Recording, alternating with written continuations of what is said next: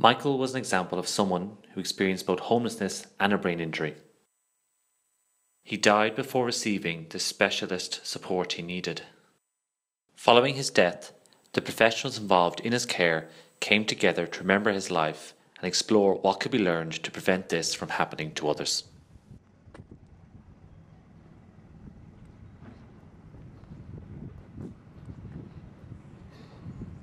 like an atomic bomb had hit Liverpool, but there was no consequences at that time.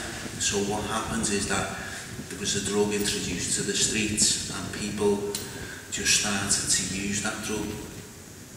But they didn't know the role that they were going to take, they didn't know the consequences that were going to come with that until years later.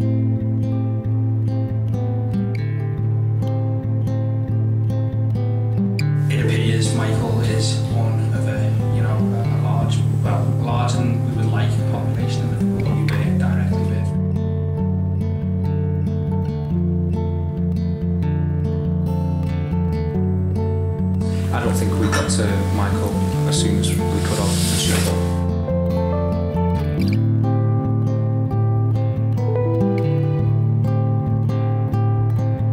I work for Brain Injury Services and I think really um, Michael is a prime example of somebody who should have had brain injury and what a long time.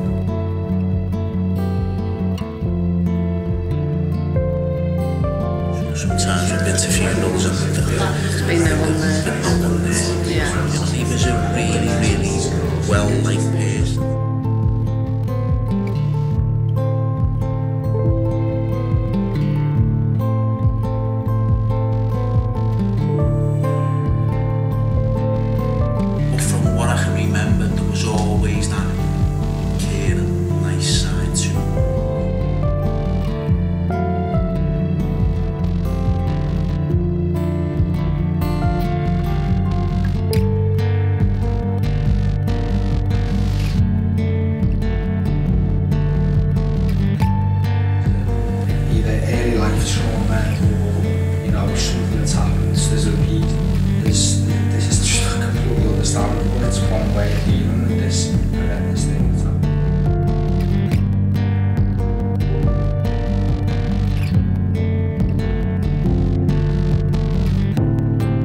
Essentially we're all, myself included, part of a continuing cycle, we don't change it.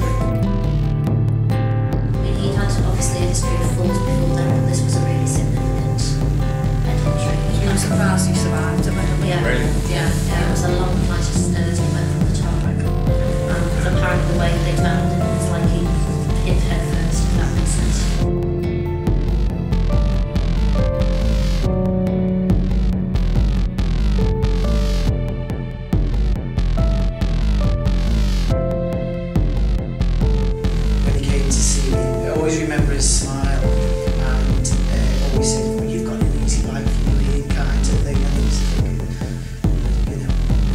too, it's bit complicated. And then, as I said, which was very, very sad, my last memories of it, which are the ones